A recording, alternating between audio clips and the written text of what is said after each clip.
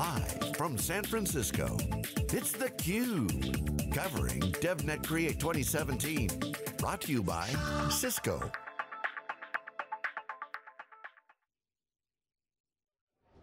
Hello everyone, welcome to the special presentation of theCUBE here in San Francisco live for two days of wall-to-wall -wall coverage for Cisco Systems inaugural developer event called DevNet Create. The hashtag is DevNet Create. This is a new opportunity for Cisco, a new event, again, inaugural event. Peter, I love to go all the new, all the first time events, because you never know it was going to be the last event.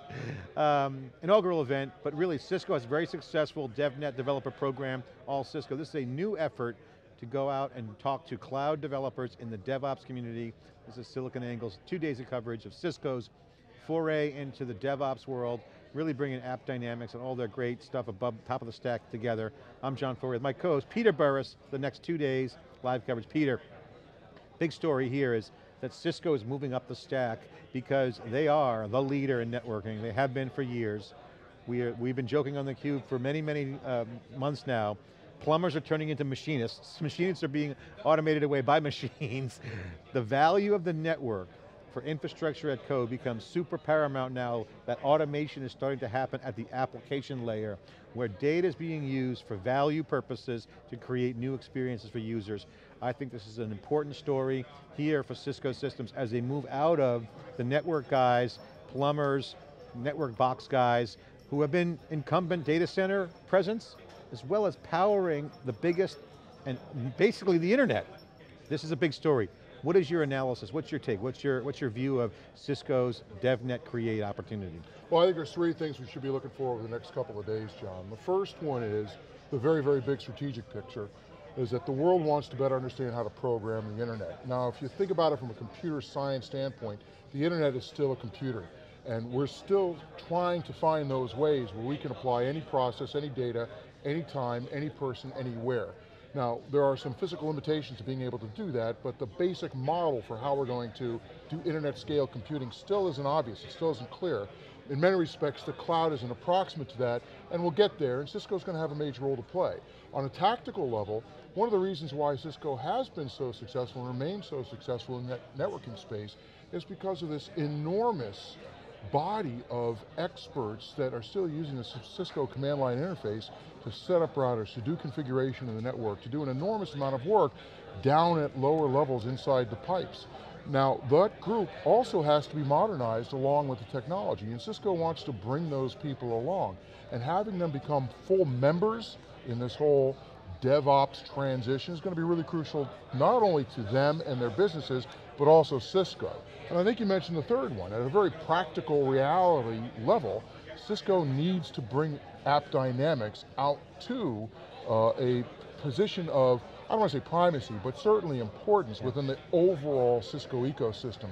And so this is a, this show is going to be one of the ways to make progress on that. And P uh, Peter, I got to say, the research that you're doing at wikibon.com, for the folks watching, go to wikibon.com, Peter's been leading the research team there, and really has some amazing research. Key stakes in the grounds of the two big waves that are happening. Cloud computing, AKA DevOps and other things, and the role of data, data science, whatever you want to call it, data and cloud. Peter, the wave that's hitting, it's music, it's musical chairs, and if the music stops and you're a big player like Cisco, and you don't have a play in cloud or data, you're screwed. And so it's clear to me that with the Apps Dynamics acquisition of Cisco, again, a foray into establishing the relationship between applications and code of the network really gives them a unique opportunity to add a lot of value and have a big seat at the table of those next two waves. Yeah, I think you're absolutely right, John. In fact, the research that we're doing is very, very compelling and starts to point to the idea that we used to have hardware as infrastructure, now we're doing, or hardware-defined infrastructure, and now everyone's in this grip of software-defined infrastructure, which is really important, and will be here for quite some time. But as you start thinking about the real asset that's going to dictate how digital business works, how it's how it gets how businesses get reconfigured, how they reinstitutionalize the work that they need to do, and how infrastructure ultimately gets deployed, in many respects, it's time to start thinking in terms of data-defined infrastructure. And it's a term that we're starting to play with inside Wikibon to see how far it actually goes, but I think it's got a lot of prescriptive potency to it. That the idea is, you're increasingly, your digital business is going to be a function of where your data is, what you can do with it, how fast, all those other things. And this notion of data as the asset that ultimately guides and shapes the characteristics of what customers want and what businesses can do is going to become increasingly important and this conference yeah. and the people here are absolutely part of that change. The reason why I like this event and why I'm here and, and why we're doing this a small little event is that I think this is a tell sign, a canary in the coal mine of what's coming on this big wave. And I'll give you an example. I watched Cisco dominate the internet generation because they connected the networks together. They moved and created great value in connecting offices and then ultimately internetworking. The rest is history. We are now at the next seminal moment of internet scale going cloud and data. So to me, there are two main storylines that I'm watching and I want to get your reaction to on this. One is customer facing digital transformation. Every customer is trying to figure out how to transform and Cisco's Every no, business. Every business is trying to figure out, or Cisco's customers or potential customers right. have to transform and be a better business. You look no further than the Ford CEO being fired for less than five years on the job. How the hell can you transform a company in four years? You can't.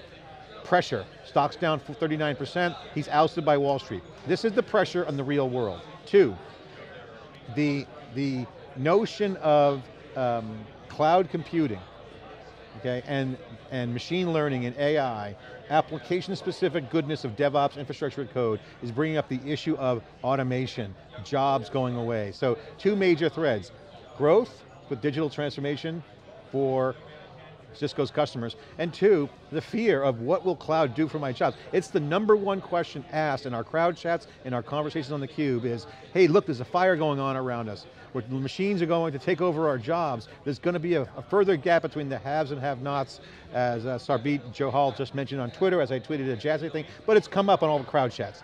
Jobs going away as an impact, personally, I think they're going to shift, but that's my opinion your reaction, digital transformation and automation, machine learning, these things automating away jobs. Well, let's start with the second one because in many respects it's the practical uh, test of what happens with that first question about digital transformation.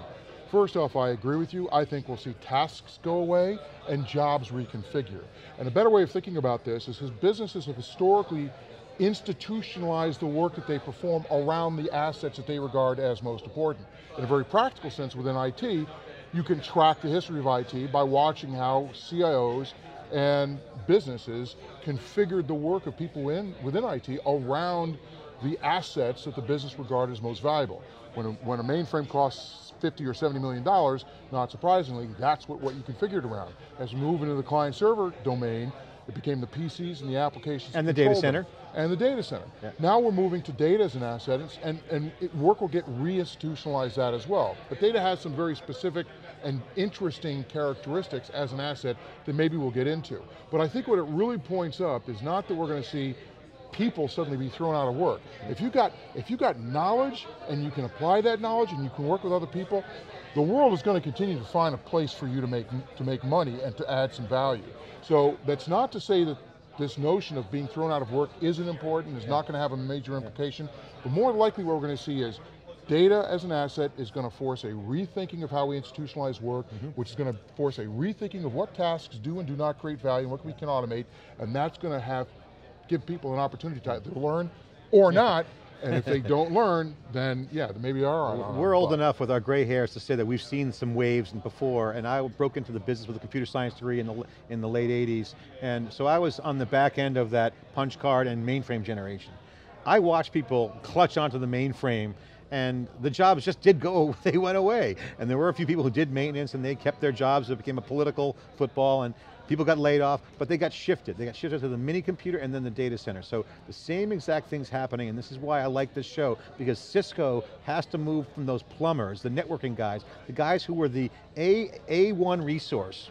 Networks were the kingpins of the enterprise. They ran the show, they ran the networks, tier one personnel, now being commoditized. And if I am, my advice to my friends in the networking business, and this is why the show exists, you got to shift your skills to the next value proposition, that's data. By the way, it's still the internet, so I think they're going to be in good shape. If well, you're a networking guy, you got to go to the next network effect. That's not necessarily boxes, it's still packets, it's still policy, it's still good work. Still security. Um, so, so let's think about what, what you just said, John, that you move from a world where I perform the tasks on a particular set of Cisco boxes to, I am responsible for ensuring that distributed data works. That's a, that's not subtle. I mean, it's a, it's a major transformation, but we are going to have an enormous need for people that can handle and deal with distributed data. I'm going to come back to something you said earlier, um, and that was the, the mini computer revolution. You know, I've been around for a long time too, I came in just before you. Uh, what killed the mini computer was not the microprocessor.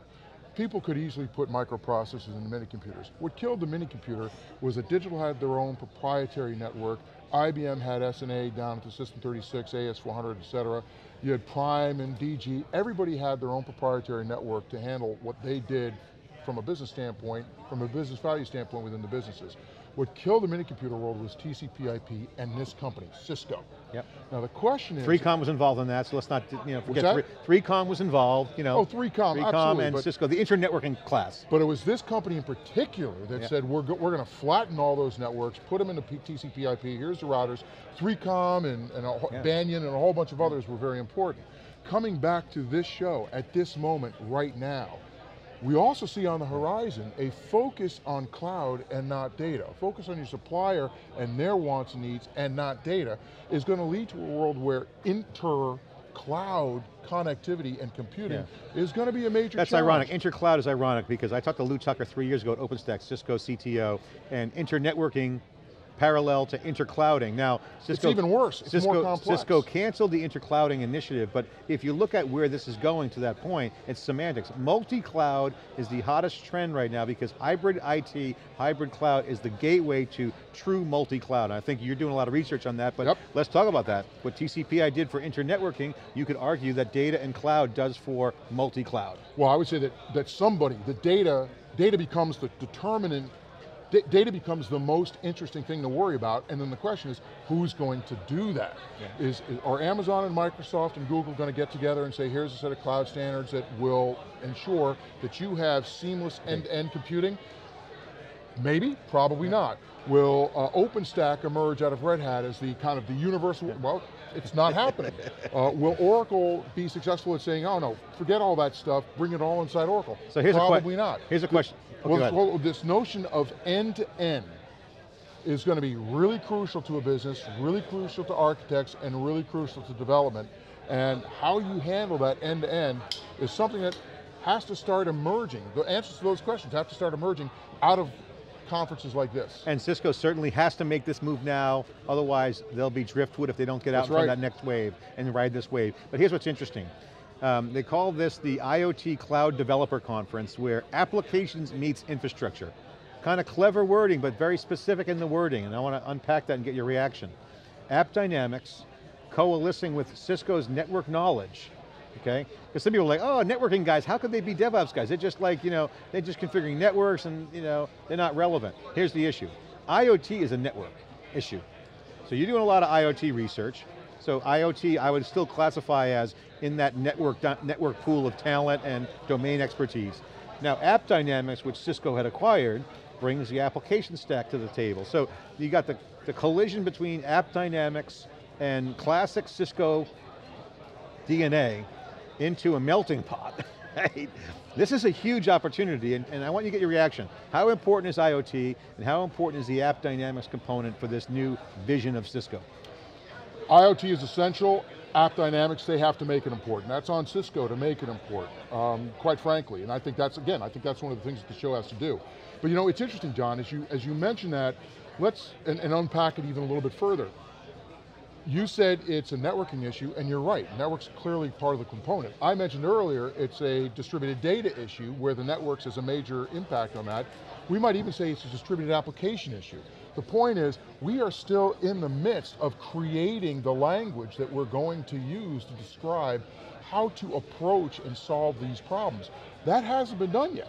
I mean, it's, uh, people say, oh yeah, it's, uh, let's talk about, you know, blockchain and security, or let's talk about, you know, data gravity, or all these other concepts we're throwing around out there. We need more precision, we need more, we need more uh, conventional uh, uh, agreement, consensus. There's a lot of work that this industry has to do to really address the challenges that Cisco and the people at this conference face as they try not only to ensure their relevance looking forward, but very importantly, to solve these extremely complex problems of how we're going to dramatically expand the distribution of function with and, and the distribution of data, while at the same time increase things like near real time. Under, so so I, I like to say, for example, John, um, I like to say that the edge is not a place, the edge is a time. Yep. That at the end of the day, what's most important is, can you process something in the time envelope required, and the place is just a way of measuring that. These are all major challenges that Wikibon research is focused on, but also folks at this conference are going to have to address if we're going to solve that next generation of business opportunities. That's Peter Burris, Head of Research for SiliconANGLE Media, also General Manager of Wikibon.com. Check out the research. A lot of great stuff going on digital transformation, the valuation of data, and certainly cloud computing infrastructure and the impact uh, for customers. Um, check it out at Wikibon.com. I'm John Furrier. We're about to kick off two days of wall-to-wall -wall coverage with Cisco as they put their foot in the water in the cloud DevOps developer community for IoT and applications. It's where, it's where applications meets infrastructure, infrastructure as code. We'll be right back with more coverage. Stay with us for two days at Cisco DevNet Create.